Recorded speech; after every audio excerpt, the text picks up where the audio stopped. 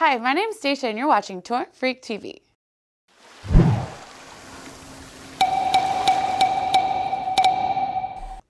SuprNova.org was one of the first mainstream torrent websites which was founded in 2003 by Andrej Preston, aka Sloncek. After a few successful years, the founder, who is also our producer, decided to take the website down. The site saw a quick reincarnation by the Pirate Bay, which was also quickly abandoned. Now, years later, the site will once again relaunch, but in a different form. It will no longer host torrent files, which might be seen illegal by some people, but it will rather focus on delivering entertainment web shows for free. Let's not forget that SuprNova has always been a community based, and Andre hopes to see the same kind of work in the future. If you would like to be involved in any aspect of the new SuprNova, maybe as a coder, designer, animator, writer, etc., just head over to suprnova.org to read more.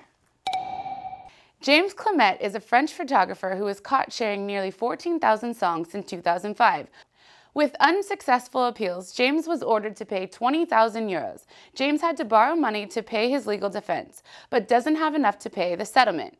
James is also a strong believer in the sharing culture and doesn't understand why somebody would have to be punished so heavily for such an act.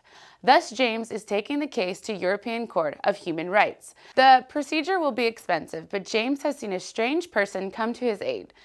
A famous film director, Jean-Luc Godard, who is due to receive an honorary Oscar, has donated 1,000 euros to James's Fighting Fund. Mr. Godard has said in the past, copyright is not a possibility, really. An author has no right. I have no right. I only have duties.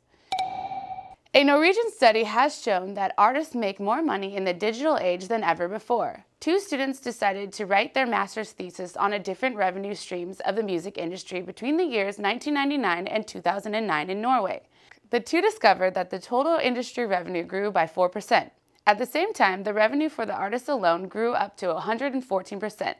The study showed that a lot of the artists made most of their money from live performances. While labels might claim that the industry is dying, artists are the ones, though, who are making the money they finally deserve. If you want to share large files with a few people, you might often face a problem of not knowing where to host your files.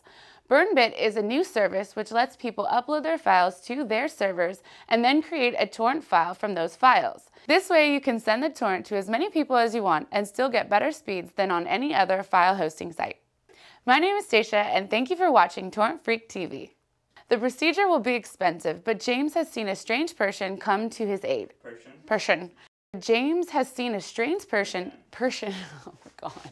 But James has seen a strange person. But James has seen a strange person come to his. I can't person.